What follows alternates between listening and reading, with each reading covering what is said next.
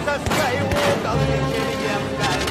Ровно после вечера разнеслась весть. Как у нашей бабушки, бабушки-старушки, шестеро налетчиков. Васька, я сейчас сойду. Что, укачала, Давид Маркович? Не бойся, такого голоса недолгий понос. Так кто ж секретное оружие на бандитов? Сейчас я им спою в самые богатые уши! Вот стоц, перверкоц! Величко и